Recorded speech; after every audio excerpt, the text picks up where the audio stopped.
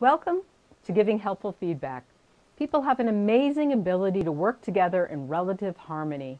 We have a wide range of skills that allow us to get along. We have rules about who stands where in an elevator. We know to give people room when they seem grouchy. We allow people to finish their thoughts when they are speaking. But one area of organizational life doesn't come as easily, and that is giving feedback, especially when we want a colleague to change.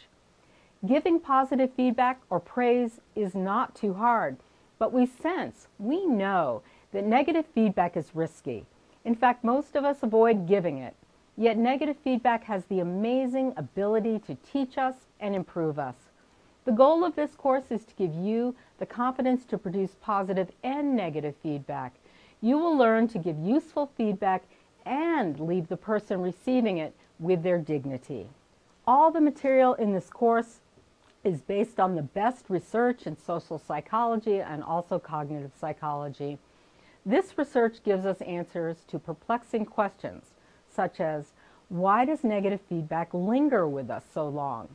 When we know the answers, we are better able to maximize the benefits of negative feedback. You'll learn very basic skills in this course that you can use in your daily life, but more critically on the job. You'll learn how to make your praise more motivating. You'll learn how to deliver negative feedback so that people will try to solve problems rather than create more problems. You'll learn seven very specific skills to improve the effectiveness of negative and positive feedback. You'll learn that praise has the power to make people more innovative and better team members. The benefits of knowing these skills are far reaching. You'll reduce the frustration of not knowing if giving feedback is a good idea or not. You'll have more confidence and less fear in delivering feedback. You won't need to second guess yourself.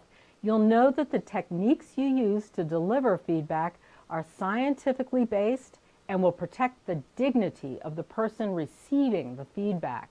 If you are a manager or hope to be one, Applying the principles consistently will improve your relationships with employees, build trust, and help your organization to run more efficiently.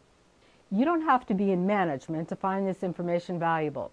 You can use it with your friends and family members to improve communication in your relationships. These skills are most critical, however, for members of work groups, the aspiring manager, or anyone in a management position. Even if you are leading the organization, the principles of good feedback remain the same. Special knowledge is not needed to take this course, just an open mind. I will explain the principles and skills and then provide lots of examples and opportunities to practice so that the ideas come to life. The ideas are simple, but they're also powerful tools that can help you empower others and work more effectively. I am Tracy Jennings, an instructor at the University of Colorado in Boulder. I teach business management, but my education was in cognitive psychology. I believe that understanding how our brains function can make us more effective in our work lives.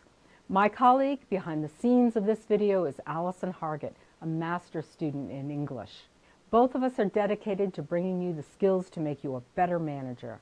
I hope that you enjoy this short course and put its ideas to work immediately. Thanks for watching, giving helpful feedback.